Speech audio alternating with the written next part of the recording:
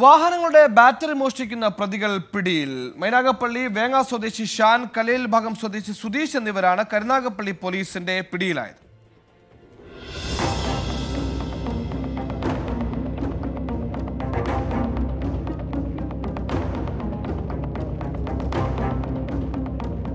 കഴിഞ്ഞ വെള്ളിയാഴ്ച രാത്രി ടോറസ് ലോറികളിലെ ബാറ്ററികൾ മോഷണം പോയെന്ന പരാതിയാണ് കരുനാഗപ്പള്ളി പോലീസിന് മുമ്പിലെത്തിയത്.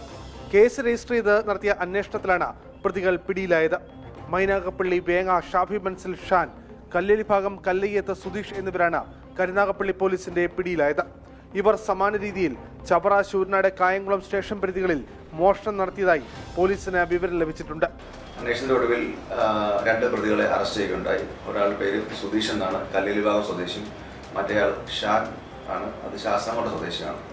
സ്ഥിരമായി രാത്രി ഇവിടുന്ന് ബാറ്ററികൾ മോഷണം പോകാറുണ്ടായിരുന്നു. അതിനെ തുടർന്ന് സി സി ടി വി ക്യാമറകളൊക്കെ നോക്കി നടത്തിയ അന്വേഷണത്തിന്റെ ഭാഗമായിട്ടാണ് ഇത്തരത്തിലൊരു ഡിറ്റക്ഷൻ കിട്ടാൻ സാധ്യത. കാരണം പ്രതികൾ ഉപയോഗിച്ചിരുന്ന മോട്ടോർ സൈക്കിൾ മോഷ്ടിച്ച് നമ്പർ മാറ്റി ഉപയോഗിച്ചതായിരുന്നുവെന്നും പോലീസ് കണ്ടെത്തി.